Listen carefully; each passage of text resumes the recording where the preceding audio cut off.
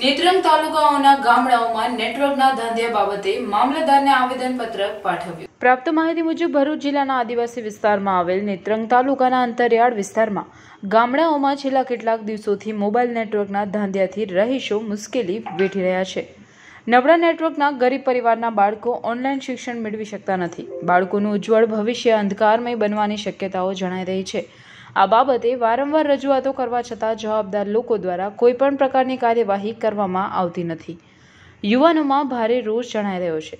તેવા સંજોગોમાં આદિવાસી સમાજના યુવા આગેવાન વાસુ વસાવા ગામોના સરપંચ અને બાળકોએ નેત્રંગ મામલતદારને આવેદનપત્ર આપી ગુજરાત સરકારને પ્રબળ મોબાઈલ નેટવર્ક સુવિધા પૂરી પાડવા માટે રજૂઆત કરવામાં આવતા ચકચાર મચી જવા પામી હતી અને ગુજરાત સરકાર દ્વારા આ બાબત માટે જરૂરી કાર્યવાહી કરવામાં નહીં આવે તો ભવિષ્યમાં નેત્રંગ તાલુકા આદિવાસી સમાજ દ્વારા આંદોલન ચાલુ કરવામાં આવશે તેવી ચીમકી ઉચ્ચારી હતી.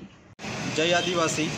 આજે અમે લોકો જાગૃત યુવાનો તરીકે નેત્રંગ મામલતદારશ્રીને આવેદનપત્ર પાઠવવા માટે આવ્યા છે. એનું કારણ એક જ છે કે જે આજે કોવિડ નાઇન્ટીનની મહામારીની વચ્ચે જે ઓનલાઈન શિક્ષણ આપવામાં આવી રહ્યું છે, તે શહેરી વિસ્તારના બાળકો તો સારી રીતના મેળવી રહ્યા છે, પરંતુ આજે ગામડાના વિસ્તારના બાળકોને એ શિક્ષણથી વંચિત વંચિત રહી ગયા છે. ભારત સરકાર અને ગુજરાત સરકાર જે ડિજિટલ ઇન્ડિયાની વાત કરી રહી છે, તદ્દન ખોટી ખોટી વાત કરી રહી છે. તમે ગામડાઓ સુધી નેટવર્ક નથી પહોંચાડી શકતા, તો બીજું તમે કઈ રીતના પહોંચાડી શકો?